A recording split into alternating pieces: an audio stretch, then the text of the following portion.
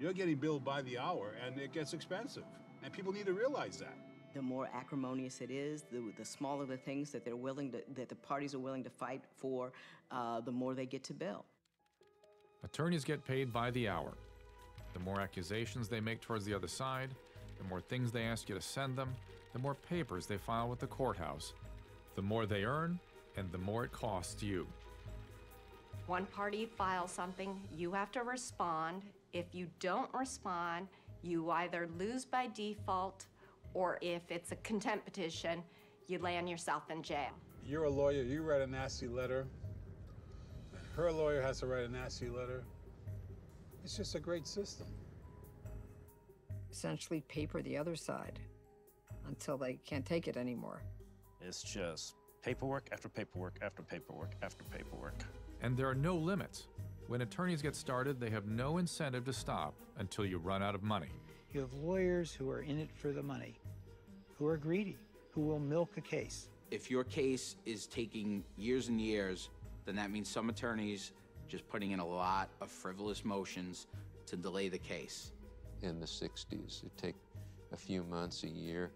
Now cases drag on five, six, seven, eight years.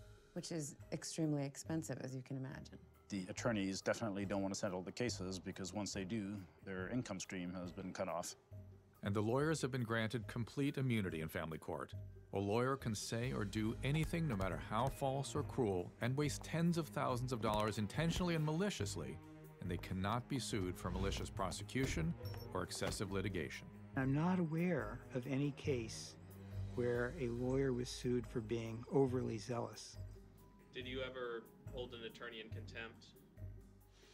No. I really didn't have the heart to do that. I would see them privately, maybe when we had lunch afterwards. No, because he's doing his job, and you just, and however uh, uh, pitiful his case was, uh, I'm reluctant to embarrass attorneys. With such high rates and no consequences for over litigating, the money in the marriage is often spent before the divorce is even finished. So, how do people pay for all this? When the liquid cash went out, at that point there, he says, Well, I understand you have a $100,000 line of credit, which I had to go ahead and use that in order to pay uh, for my legal defense. A lot of people go into debt as a result of their divorces. Some attorneys automatically put a lien on your house just to make sure that eventually they get paid. We took out an equity line of credit at my parents' house, and that's been maxed out now. Uh, I think it's $250,000. What they do is bleed you until all the money is gone. And if that isn't enough, the court can even order you to sell everything you own. The judge looks through here and he says to me, You really messed this up. Next time I see you in my court, I'm going to order your land sold so you can get attorneys. Your home, your, your valuables are all going to be sold to pay the lawyers and people like me. The court does regularly liquidate an asset, sell the house to pay that person to do their job.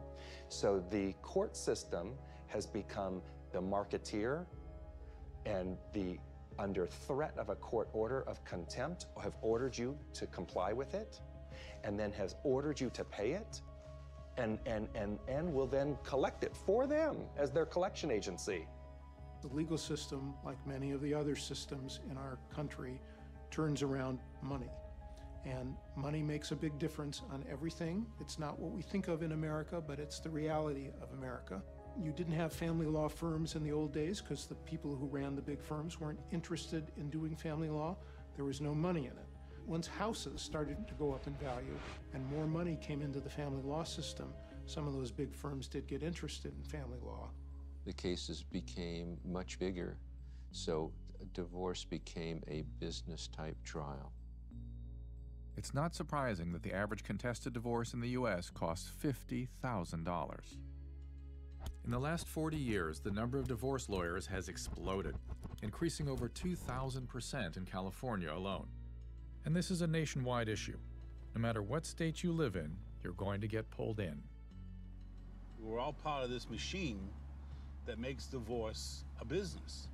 It is a business, and I'm not ashamed to say that. This is how I feed my family. This is how I keep a roof over my head. This is how I put gas in my Rolls Royce.